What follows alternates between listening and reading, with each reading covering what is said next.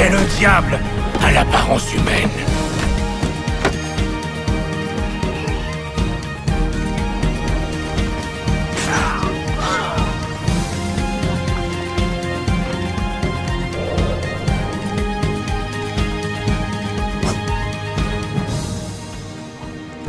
Ha ha ha!